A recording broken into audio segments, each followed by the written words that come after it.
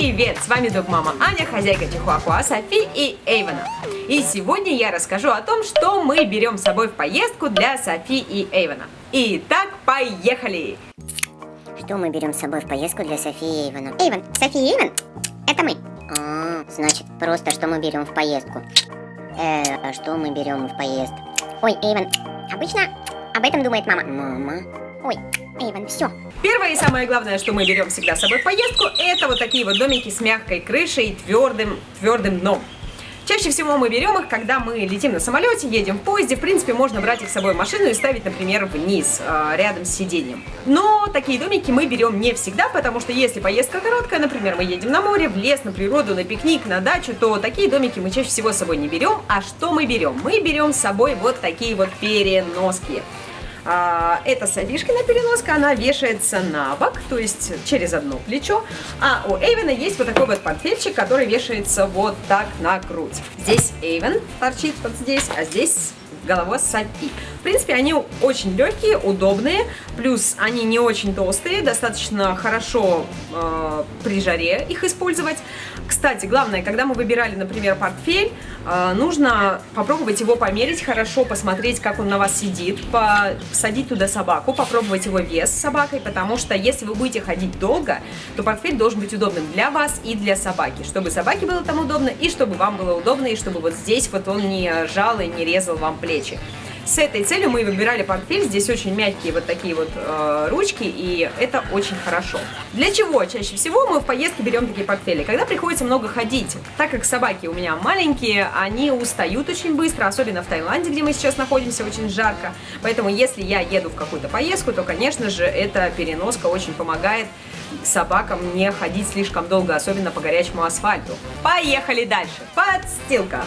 Это подстилка, которая э, баллоневая, то есть она не промокает, плюс она внутри мягонькая. Чаще всего я не беру подстилку с собой в какие-то такие поездки, куда я беру домик или переноску.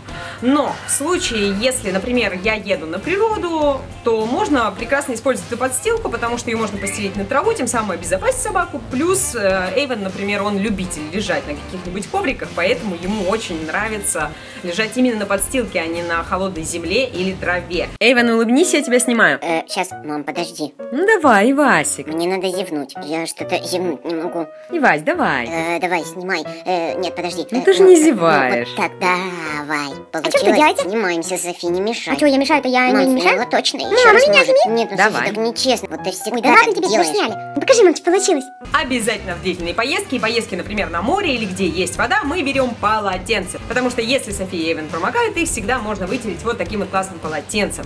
Не обязательно брать полотенце специально для собак, можно, в принципе, использовать обычное ваше полотенце или какую-то тряпочку, которая вам не нужна. А еще такой момент, мы всегда берем вот такую вот маленькую тряпочку. Для чего? Очень часто, когда еду- е- собаки едут на машине, у них может быть сильное слюноотделение от укачивания, и нужно вытирать слюнки или вытереть какую-то грязь. А вообще можно использовать вместо такой тряпочки маленькой и влажные салфетки или носовой платок, то, что именно вам будет удобно. Пеленки. Пеленки это очень удобная вещь, очень полезная в поездках.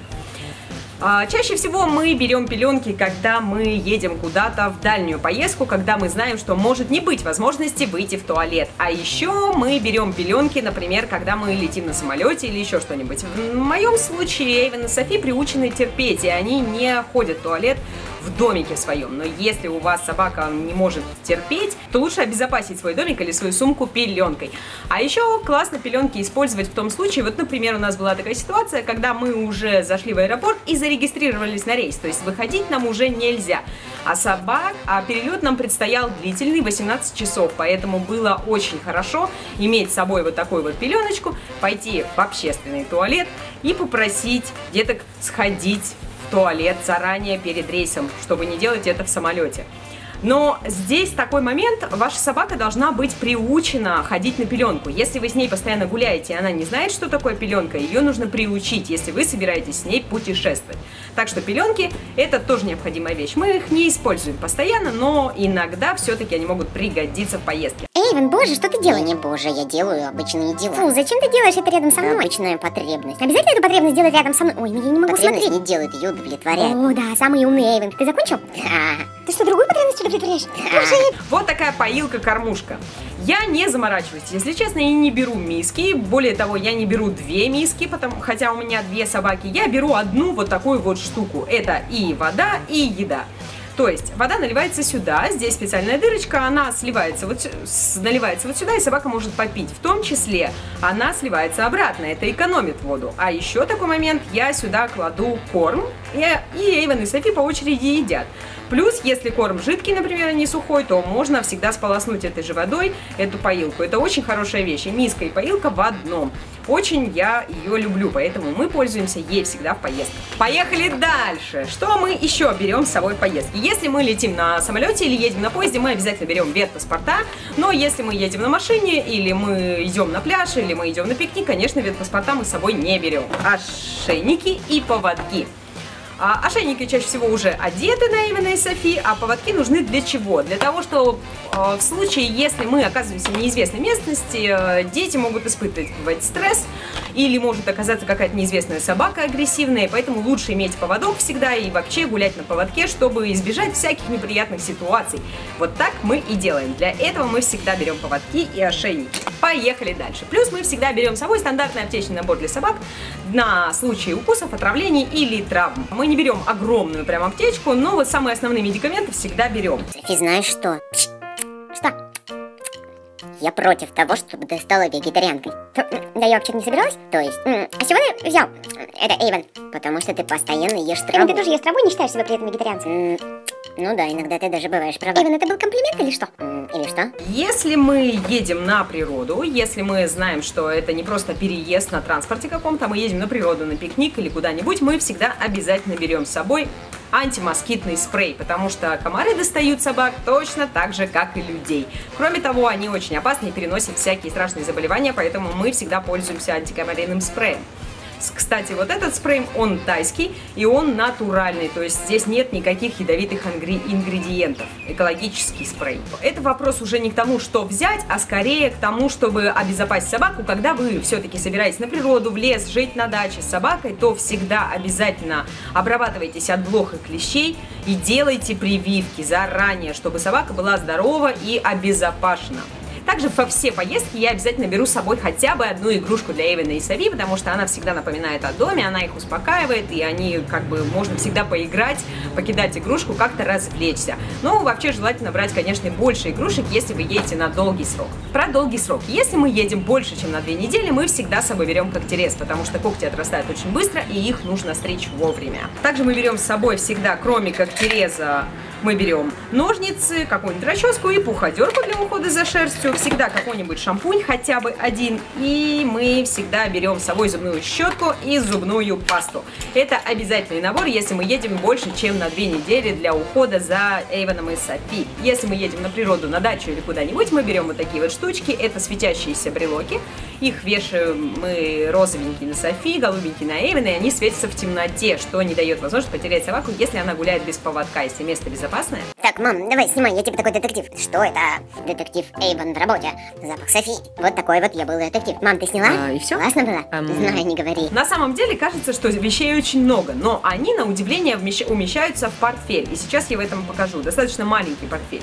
Вот, предположим, у вас такой маленький рюкзачок, в который, ну, который мягкий и очень удобный, и в него можно уместить весь этот набор вещей. Если, конечно, у вас есть возможности, вы едете на машине, или вы едете на очень долгий срок, то, конечно, лучше взять уже и домик, и миски для собаки. Но если вы едете на пару дней или в какое-то короткое путешествие, то зачем? То я не вижу смысла брать а, лишний груз. Вот, в принципе, я даже достаточно неаккуратно сложила все в этот портфель, он еще, здесь еще достаточно места. Обязательно с собой в поездку, в любую мы берем с собой какую-то еду и обязательно питьевую воду. Это просто вот прям самые главные пунктики. Этого достаточно для поездки с Эйвеном и Софи куда-нибудь недалеко, конечно, не для переезда в другую страну или в другой город. Спасибо большое вам за внимание. Это была рубрика Док Мама. Подписывайтесь на наш канал, это очень легко. Розовая собачка внизу экрана, просто кликните на нее. И задавайте свои вопросы в комментариях, если вы хотите какие-то определенные видео, какие-то темы, если у вас возникли вопросы, пишите все в комментариях, мы постараемся ответить на них в других видео. Спасибо еще раз вам большое. Любите своих собак, заботьтесь о них и ставьте пальцы вверх, и будет вам счастье. Пока-пока! Укусы, отравления, травмы. Я не понял, почему мама в конце сказала укусы, отравления, травмы. Потому что это был смешной кадр, Эйвен. О боже, а что в нем было смешного? Ну, может быть, то, что улетела наша зубная щетка? А куда она улетела? Эй, Иван, ты притворяешься или ты правда такой? Ой, все. Кто будет играть в мяч? Побежали играть, зануда! Не зануда! Это зубная щетка. Не зануда, не зануда.